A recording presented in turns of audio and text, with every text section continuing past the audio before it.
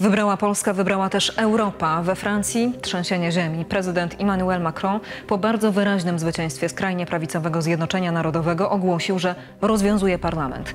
W Niemczech żółta kartka dla koalicji Olafa Scholza.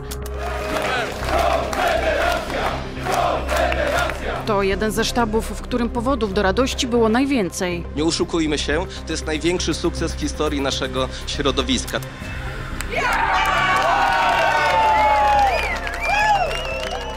Niemiecka AfD z wynikiem 15,9% stała się drugą partią w Niemczech. Tak, to ta partia, która często sugeruje, że nie podoba jej się powojenny kształt Niemiec. We Francji wybory wygrywa Zjednoczenie Narodowe, zdobywając 31,4%. W Polsce trzecią siłą polityczną okazała się Konfederacja 12,1%. Mowa oczywiście o wynikach wyborów do Parlamentu Europejskiego. Oprócz tego prawicowe siły osiągnęły wysokie wyniki we Włoszech, Austrii, Belgii i można by tak jeszcze wymienić kilka państw, ale widać już na tych przykładach pewną tendencję. Tendencję, która jednych niepokoi, a innych napawa nadzieją. Europa skręca w prawo. Pytanie brzmi: dlaczego?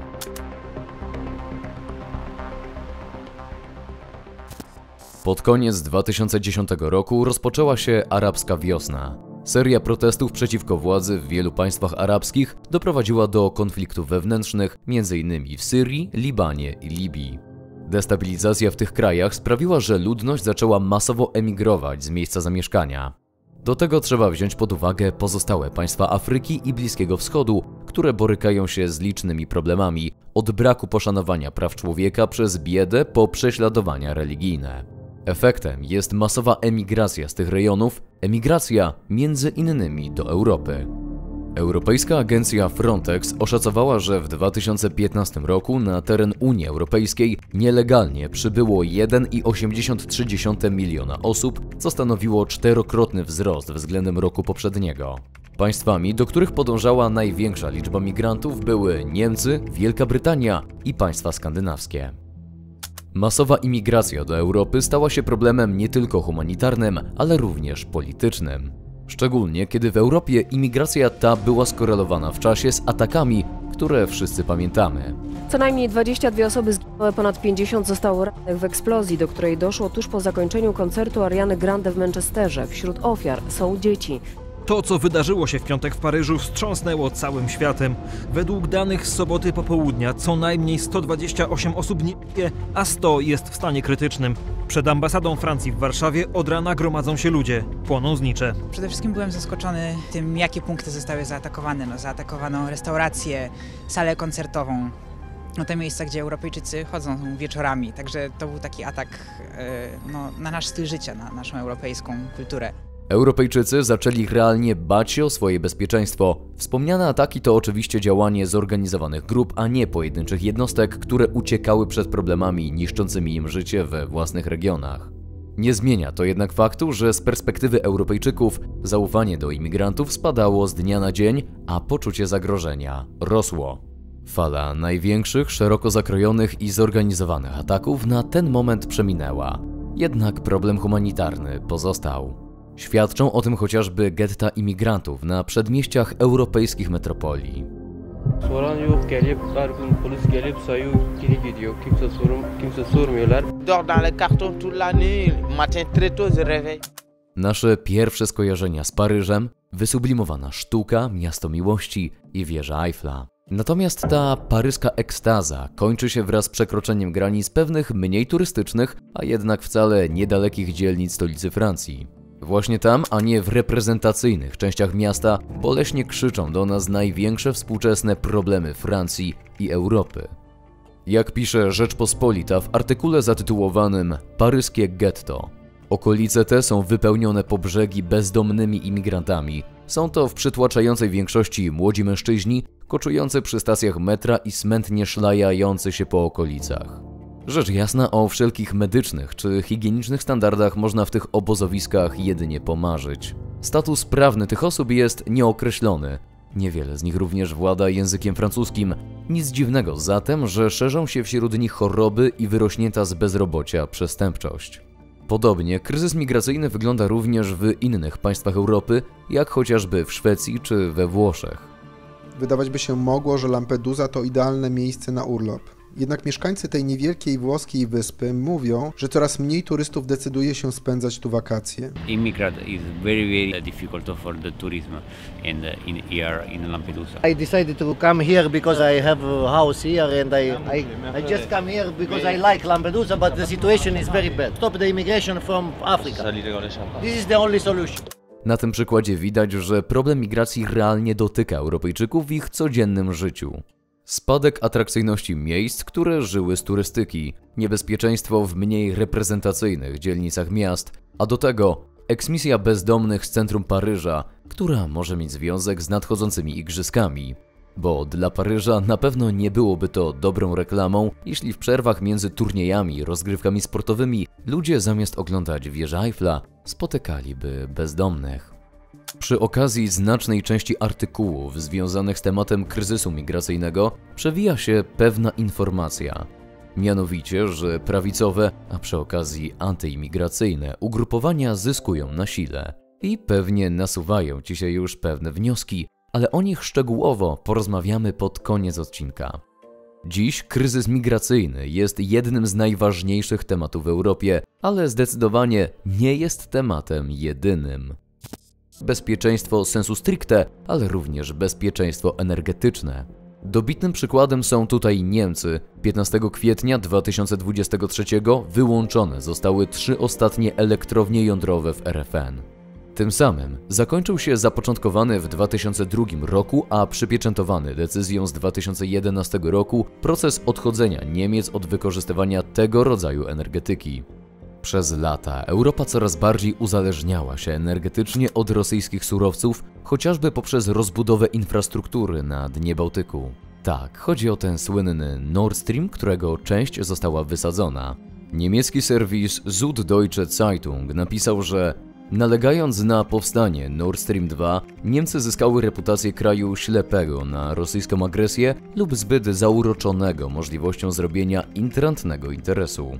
Interes miał polegać na byciu hubem dla reszty Europy i handlowaniu rosyjskim gazem. Konflikt na Ukrainie i wysadzenie gazociągu zweryfikowały te plany. Rosja nie prowadzi bezpośredniej wojny z Europą, jednak zdecydowanie prowadzi działania hybrydowe, o czym poza sprawami energetycznymi świadczy chociażby problem na polskiej granicy, który stał się paliwem do budowania narracji przez prawicowe partie. Wśród Polaków wzrosło oburzenie na tych polityków, którzy przez ostatnie lata nie traktowali problemu migrantów na granicy z Białorusią wystarczająco poważnie. Kilka tysięcy migrantów i, w, i, i, mówię 50 czy 100 osób z patykami i z kamieniami wywołuje taki, taką reakcję i to wymaga postawienia państwa na głowie, nieprawdopodobnych stanów wyjątkowych, jakichś, jakichś wzmożeń. Dzisiaj państwo polskie powinno zrobić wszystko, żeby zdeeskalować ten konflikt, budować naszą siłę. W wyniku tego oburzenia i wydarzeń z ostatnich tygodni, politycy ci zaczęli zmieniać swoją narrację, jednak Polacy, widząc tę nagłą zmianę, zadają sobie pytanie, czy jest to szczera refleksja, czy może efekt dopasowania się pod nastroje społeczne, bo przecież mamy wybory za wyborami, więc trzeba dbać o sondaże. Można jeszcze wymieniać wiele kryzysów, które miały miejsce w Europie na przestrzeni ostatnich lat, jak chociażby COVID, wysoka inflacja czy rozregulowany rynek mieszkaniowy. Ich wpływ na społeczeństwa Europy jest oczywisty, jednak powstaje pytanie, w jaki sposób przekłada się to na opinię publiczną, sondaże, a ostatecznie na także wyniki wyborów. Już w 2023 roku media głównego nurtu zaczęły zauważać i pisać o tym, że Europa stopniowo skręca w prawo.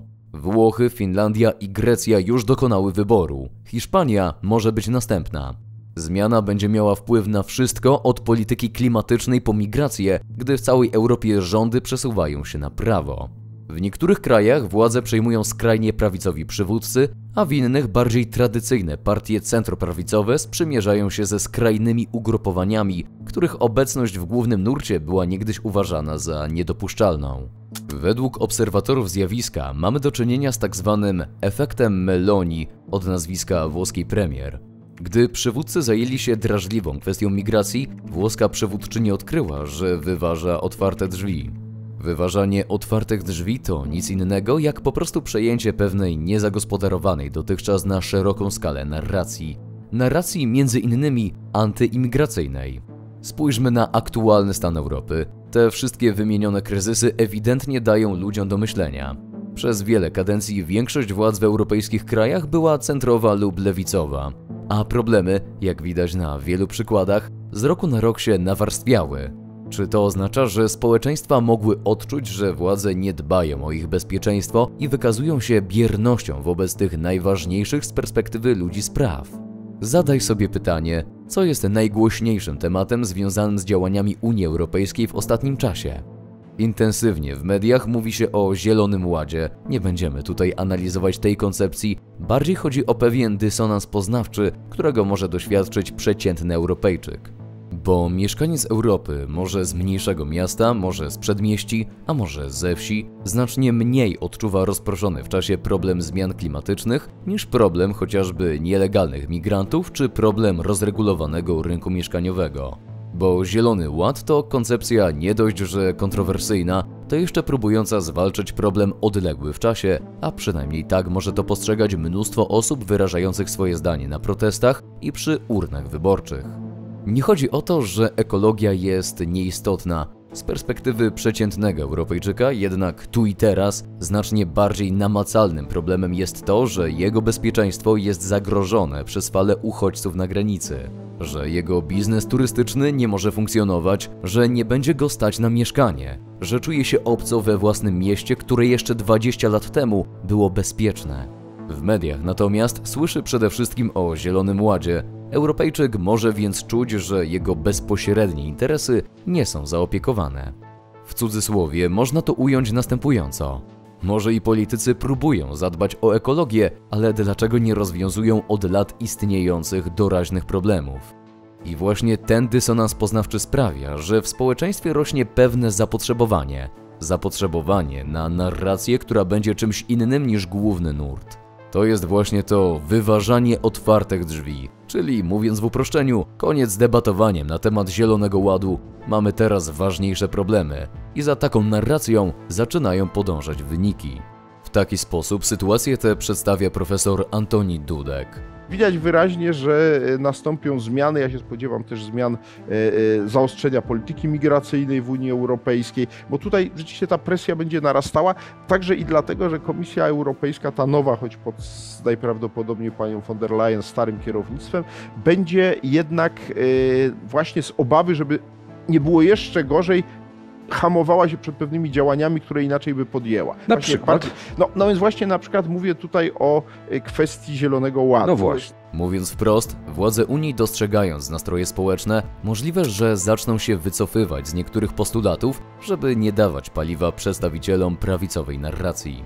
Warto zaznaczyć, że prawdopodobnie podobny mechanizm miałby miejsce, gdybyśmy mieli do czynienia z sytuacją odwrotną, której to prawica byłaby głównym nurtem i nie umiała poradzić sobie z bieżącymi problemami. Wtedy również w ludziach narastałaby pewnego rodzaju frustracja, która, chcąc znaleźć ujście, mogłaby się skończyć w tym przypadku skręcaniem w lewo. No właśnie, narastająca frustracja. Niemcy. Poczucie zbyt dużego obciążenia państwa oraz braku jego sprawczości, nieudana integracja nowo przybyłych, a także wywoływane przez imigrantów zamieszki na ulicach miast prowadzą do zmiany postaw wobec uchodźców w społeczeństwie. Ośrodek Studiów Wschodnich przedstawił analizę tego, jak zmieniają się nastroje społeczne w Niemczech w związku z problemem migracyjnym. 64%, najwyższy odsetek od 2015 roku, uważa, że imigracja pociąga za sobą więcej kosztów niż korzyści oraz domaga się ograniczenia liczby przyjmowanych uchodźców. Co ciekawe, twierdzą tak nie tylko zwolennicy AfD, ale także 29% zwolenników Zielonych i 44% elektoratu SPD, czyli partii w gruncie rzeczy liberalnych. Prawie 80% Niemców jest zdania, że państwo nie radzi sobie z zarządzaniem polityką migracyjną, szczególnie w zakresie zakwaterowania, integracji i deportacji azylantów. Poza frustracją do opisu sytuacji pasuje jeszcze jedno słowo rozczarowanie. Rozczarowanie musi narastać, kiedy rzeczywistość polityczna, w której funkcjonuje dana partia, uniemożliwia jej realizację obietnic. Tak stało się chociażby przy okazji trzeciej drogi, która w ostatnich wyborach do Parlamentu Europejskiego osiągnęła naprawdę niski wynik, proporcjonalny do jej niskiej sprawczości w koalicji z KO. I być może uznasz, że to bez znaczenia w kontekście odcinka, bo co ma wspólnego brak sprawczości jakiejś partii rządzącej z tym, że w Europie zmieniają się nastroje społeczne? Okazuje się jednak, że istnieje tutaj pewien związek. Frustracja społeczna staje się dobrym podłożem dla populizmu. Atmosfera rozbudzonych i niezaspokojonych nadziei, powtarzana z wyborów na wybory, sprzyja także rozwijaniu się i bezkrytycznemu przyjmowaniu mitów politycznych, czyli narracji proponujących rozwiązanie wszelkich problemów. Partie prawicowe, które w Europie bardzo często siedziały przez wiele lat w opozycji, miały paradoksalnie bardzo wygodną pozycję do budowania mitów swojej sprawczości. Ich przedstawiciele mogli praktycznie nieustannie krytykować działania władz i proponować swoją, w cudzysłowie, lepszą, rozsądniejszą, dbającą o interes państwa alternatywę. I niektóre ich pomysły na rozwiązanie tych problemów mogły być dobre, inne niekoniecznie, ale no właśnie, nie wiemy tego, ponieważ nie było okazji, aby to zweryfikować. Mamy więc sytuację, w której problemy i kryzysy europejskie budzą w społeczeństwach frustrację. Dodatkowo rządzący niekoniecznie mają pomysł na ich rozwiązanie, a jednocześnie są obarczeni odpowiedzialnością, bo władza demokratyczna naturalnie wiąże się z odpowiedzialnością. Z drugiej strony natomiast mamy często prawicową opozycję, która może komunikować społeczeństwu: hej, my wiemy jak to rozwiązać, rozwiązanie jest banalnie proste, wystarczy na nas zagłosować. Tym sposobem jakaś część społeczeństwa zaczyna wierzyć w mit sprawczości. Mit, ponieważ nie ma możliwości, aby to zweryfikować, dopiero po zmianie władzy taka możliwość się pojawia. Akt głosowania staje się więc pewnego rodzaju rozładowaniem frustracji i napięcia, które narastało w wyniku niezaopiekowania problemów. Tu ciekawostka, to nie jest tak, że tylko prawicowe partie budują mit sprawczości. Identycznie zadziałał chociażby Donald Tusk, który obiecał, że dzień po wygranych wyborach pojedzie do Brukseli załatwić sprawę KPO. Zbudował w ten sposób mit sprawczości w oparciu o nieudolność ówczesnego rządu w tym względzie, czyli, mówiąc wprost, powtarzał, że on to załatwi, bo tamci nie umieją. Takie budowanie narracji jest charakterystyczne dla partii, które długo przebywają w opozycji. Jest to wygodne, ponieważ partie te nie są rozliczane za czyny, lecz za słowa, i chociaż nie mają mocy wprowadzenia ustaw, to mają moc wpływania na opinię publiczną, szczególnie poprzez kreowanie tematów. Widać to idealnie na przykładzie Unii Europejskiej. Politycy głównego nurtu raczej nie chcieli, żeby imigracja stała się tematem. Tematem, czyli czymś, co emocjonuje społeczeństwo. Czymś, od czego zaczynają się kolejne wydania programów informacyjnych, czymś, o czym ludzie nagrywają na YouTube, piszą artykuły, tworzą TikToki itd., tak itd. Tak Ale premier Włoch Meloni zaczęła o tym szeroko opowiadać. Odpowiadając na niezagospodarowane zapotrzebowanie społeczne, przyczyniła się do tego, że imigracja stała się tematem. Podobnie w Polsce, publikacja Onetu o zatrzymaniu polskich żołnierzy na granicy również nie była na rękę rządowi, szczególnie trzeciej drodze i lewicy, za to była na rękę opozycyjnym prawicowym partiom, które bardzo szybko zaczęły robić z tego temat. Niemiecki socjolog Niklas Luhmann pisał, że przy kreowaniu tematu konieczne jest znalezienie odpowiednich słów i formuł, które uruchomią proces opinii publicznej. Ogromną rolę odgrywają w tym media, również media społecznościowe. To właśnie w nich zachodzi proces, w którym ludzie zaczynają zbierać się wokół tematu, zaczynają się z nim utożsamiać, chociażby jak niedawno mogliśmy się przekonać, masowo udostępniając informacje dotyczącą młodego polskiego żołnierza, który stracił życie w wyniku obrony granicy przed nielegalnymi migrantami. Mechanizmy te zachodzą w każdym państwie. Niemal wszędzie dostrzegalne jest zjawisko społeczne, które można porównać do wahadła, bardzo delikatnie bujającego się raz na prawo, raz na lewo. Z im większymi i bardziej dotkliwymi kryzysami mamy do czynienia, tym wyraźniej to wahadło się wychyla. Jest ono odbiciem nastrojów społecznych, którymi rządzą bardzo często emocje, być może nawet w mniejszym stopniu niż racjonalne decyzje. Europa przez ostatnią dekadę doświadczała wielu problemów, które nie dość, że te emocje pobudzały, to jeszcze były i są nadal niezwykle trudne do rozwiązania. Dlatego patrząc po wynikach wyborów do Parlamentu Europejskiego widać pewną tendencję. Prawdopodobnie jako społeczeństwo europejskie zaczynamy się odbijać od lewej strony i zmierzamy w prawo. Dla jednych zmiana ta oznacza odzyskanie kontroli i ochronę wartości narodowych, dla innych jest to krok wstecz w walce o prawa człowieka i demokrację, a dla ciebie daj znać w komentarzu, jak odczuwasz tę zmianę. Odcinki w formie tekstowej klasycznie znajdziesz na niewiem.pl, a jak masz ochotę, to zostaw nam follow na Insta, bo tam też wpada trochę kontentu. Do usłyszenia w kolejnym odcinku.